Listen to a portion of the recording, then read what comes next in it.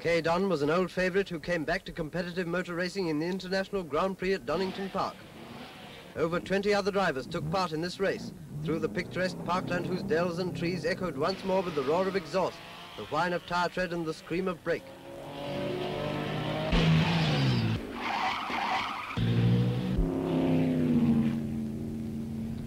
The winner was number 12, RJB Seaman, and Kay Don will have to seek his old form at another meeting.